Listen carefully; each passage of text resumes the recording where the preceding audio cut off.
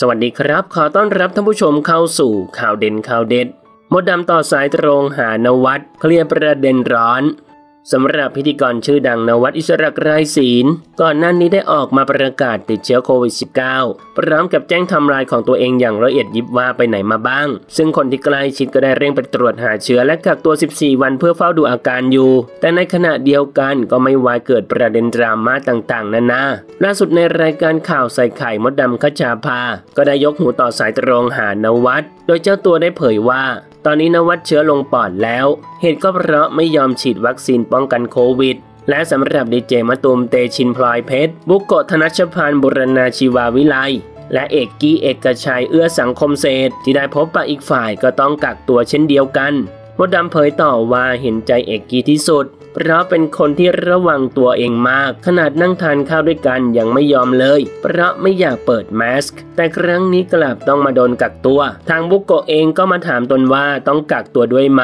เพราะแค่ทักทายกันห่างๆเท่านั้น ตนก็บอกว่าต้องทำตามกฎต้องกักตัว ส่วนประเด็นที่หลายฝ่ายกังขากันก็คือ นวัดรู้ว่าโกติอารามบอย เพราะพูดว่าอาจจะมีดาราติดโควิดแต่เดี๋ยวให้เจ้าตัวเขาพูดเอง เพราะมีผลด้านกฎหมายนั้น ทำไมยังไปสตูดิโอเวิร์กพอยต์อีกนั้น จากที่พูดคุยกันณวัฒน์ชี้แจงว่าตนทราบว่าโกติติดเชื้อตอนที่ถึงสตูดิโอเวิร์กพอยต์แล้ว ฝั่งของหนุ่มกัญชัยก็เผยว่า กรณีนี้ตนได้พูดคุยกับผู้เกี่ยวข้องเกือบจะทุกคนแล้ว และได้รับข้อมูลที่ตรงกัน แต่ส่วนใหญ่จะพูดถึงการไม่ใส่แมสก์และเรื่องไทม์ไลน์ที่แท้จริงว่าทราบตั้งแต่เมื่อไหร่กันแน่ว่าโกติติดเชื้อโควิดแต่ทั้งนี้ทั้งนั้นก็ต้องรอให้ทางฝั่งนวัดออกมาเปิดเผยข้อมูลเท็จจริงเองอีกครั้ง ล่าสุดมดดำอธิบายเพิ่มเติมในรายการแฉว่า เรื่องเชื้อลงปอดที่ตนพูดไปนั้น หลังเคลียร์กับนวัดแล้วพบว่าความจริงคือยังไม่ลงปอด แต่ต้องนอนคว่ำหน้านอนหงายไม่ได้ เพราะหายใจไม่สะดวกและเชื้อจะลงปอด